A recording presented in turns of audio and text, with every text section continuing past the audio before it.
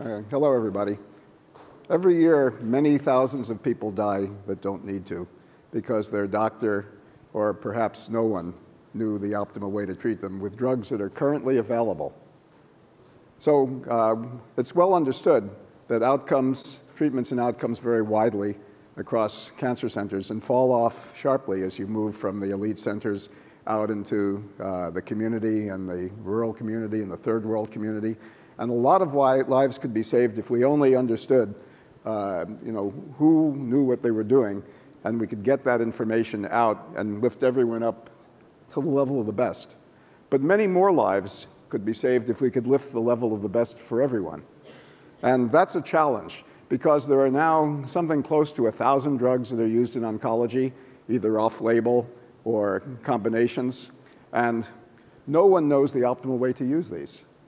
In fact, no one even knows how to find that out because if you have 1,000 drugs, maybe 20 of them are applicable to a given patient, and that patient might take half a dozen over the course of their cancer treatment. There's tens of thousands of ways of taking 20 things a half dozen at a time. And that doesn't say anything about what order uh, we're going to apply these drugs or what the timing is, right? Are they, you go on one drug till the patient recurs and then go on the next drug, or are they cocktails? Or what the dosing is, and all of this is personalized. So there's uh, exponentially more hypotheses that are rational to try than there are patients available to try them. And that's a fundamental challenge with clinical trials.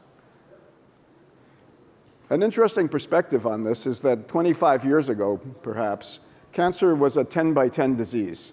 Namely, there were 10 types of cancer corresponding to major organs, and uh, maybe 10 types of chemotherapies that would get uh, reused in different ways. So there's 100 boxes, a million patients a year, so 10,000 patients per box. You can run trials. Fast forward 25 years, and we now have, I don't know how many thousands of molecular subtypes and tens of thousands of plausible combinations of therapies to try. So there may be uh, 100 million to a billion boxes. Fortunately, still only a million patients. So epsilon patients, zero patients per box. You can't run trials. It just doesn't compute in cancer. We need to find a smarter way. So what do you do when you don't have enough patients? You have to use your AI not to analyze retrospectively the data that comes off of trials, but to figure out what you want to probe for next in order to be able to get the data that you need and then you can use the AI to plan experiments that will try to get that, that data as efficiently as possible.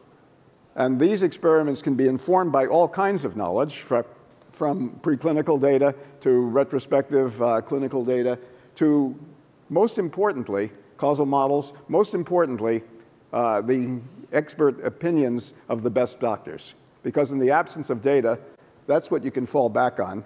And here's a quote from my board member who's sitting up here in the front that says, uh, in the absence of definitive clinical studies, the best you can do is go to the top experts. Every day, thousands of experiments get done in oncology offices as desperate patients and their physicians are trying to figure out what to do after a patient has exhausted standard of care. But these experiments are not planned, uh, there's very sporadic observation in terms of reporting it out to anyone else. And there's no learning, no coordination, no learning that goes on in this space. A particularly valuable place where we can look for information is molecular tumor boards. And this was talked about in the session right before this talk. And this is where the, uh, the uh, top doctors at the elite centers are working on the most challenging cases. A lot can be learned here. Uh, a lot can be learned not just about their decisions, but their reasons for making that decision, and almost nothing is captured today.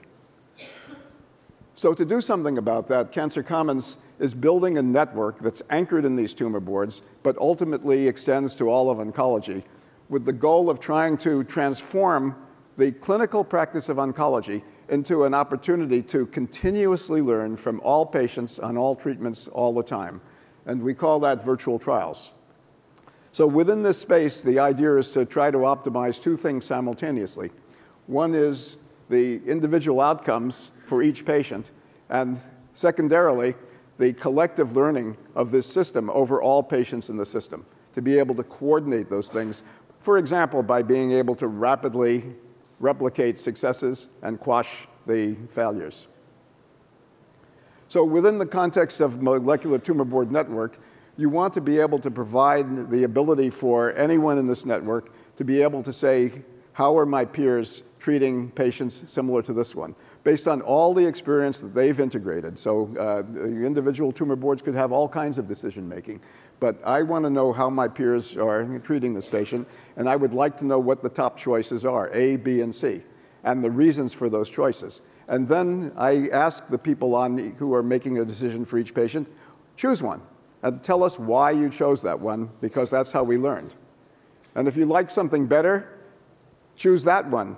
Uh, uh tell us something we don't know, and tell us why, because we certainly learn that way. And in either case, tell us what you did and how it worked, because that's how everybody learns.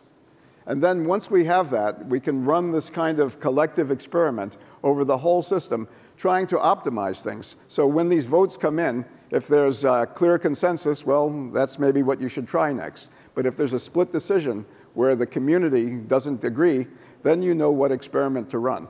And what we can do is to try to coordinate those experiments system-wide in order to maximize information gain. And that's the piece that no one is thinking about today. This is using AI not for retrospectively analyzing data, but for figuring out what data you want to get next and to be able to optimize a sequential series of experiments that can learn a lot faster than a particular set of trials which run, you know, take a long time to be able to run each time. So my colleague Jeff Shrager equates this to running an air traffic control system over biomedicine, and I'd like to show a short film on how this might work. Please.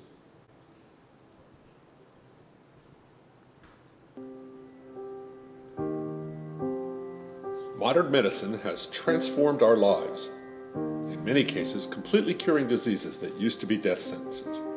But for cancer and for some rare diseases, there are a huge number of possible treatment combinations and a similarly huge number of different subtypes of the disease.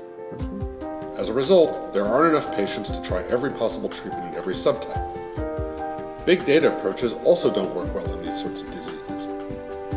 Getting huge piles of data on a limited number of patients actually makes matters worse, leaving us with too few independent observations to differentiate signal from noise.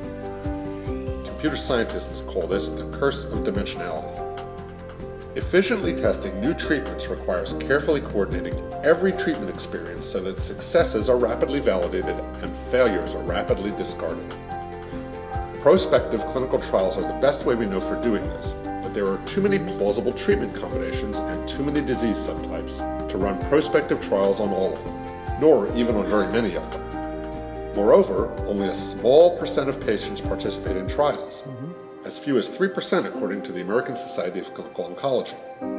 Of course, the other 97% of patients are also treated, but these off-trial treatment experiences are not properly coordinated to efficiently answer the causal question of which treatments work on which subtypes.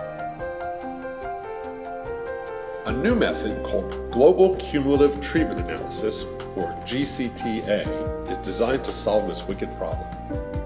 GCTA works like an air traffic control system for medicine. Coordinated teams of experts and algorithms enable the air traffic control system to efficiently and safely fly thousands of airplanes all over the world at the same time. Similarly, coordinated teams of experts and algorithms enable GCTA to efficiently and safely coordinate the thousands of treatment decisions made every day across the whole medical system. GCTA delivers the best possible treatment to every patient, while at the same time efficiently testing the whole space of possible treatments. Global cumulative treatment analysis can carry out treatment validation for cancer and rare diseases safely and efficiently, once more enabling medicine to transform our lives. Okay, we can uh, move on. Uh, for anyone who wants to see this, it's uh, on YouTube, uh, Jeff Shrager, GCTA, uh, and get the movie. Uh, there's a very nice algorithm, and I don't want to take the time to go through it in detail, other than to say that you know, a patient comes in to the top molecular tumor board, decisions, the three decisions, they get to choose, and we try to capture both the reasoning for the decision and the data that comes out of it, and then the Bayesian loop closes.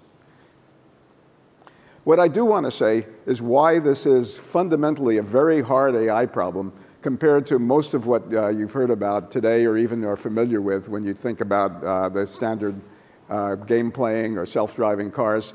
In all of these domains, you have lots of data. And the data is clean data. Uh, the, you have good simulations. You can run uh, you know, driving against uh, driving simulators or uh, go against, you can play Go against yourself all night long.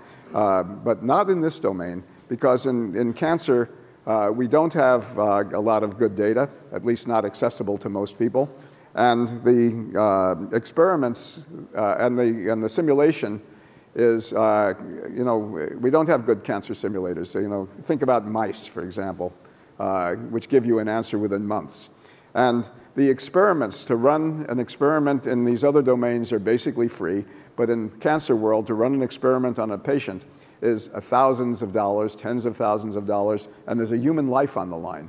So what do you do in situations like that? You have to spend a lot of time planning to make sure you're going to do the right thing. Uh, the analogy is like when you have a, a, rover on the Mars, right? And you don't want to run over into a, into a rut, so you spend a lot of time thinking before you make the move. And that's what's necessary here.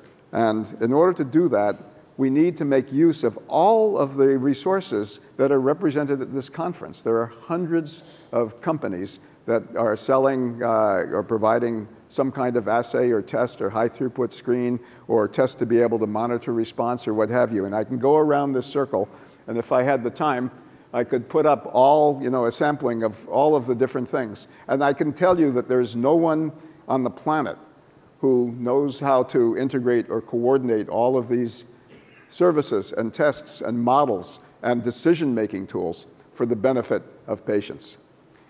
This is why cancer needs, why my, my colleague Jeff Shrager says cancer does not need a moonshot. What it needs is an air traffic control system. And so Cancer Commons, true to our name, is convening a consortium in order to build that air tra traffic control system. But this is not something that I choose to own or that any one organization can build. I need your help. I need all of you who have something that can benefit patients to send me a short email uh, with your uh, name and your interest, personal interest or corporate interest, and what it is that you bring to the table that can help patients, and what is it that you would like to get from a consortium that aims to be able to integrate all these things into the prospective decision making that I've been talking about so that we can go save some of those hundreds of thousands of people who die every year that don't need to. I have some people in the room, uh, Cancer Commons people, please raise your hands. And so after the session's over, after the next speaker, find someone, myself or any of the people who are raising their hands, and come see us or send me an email, please. Thank you very much.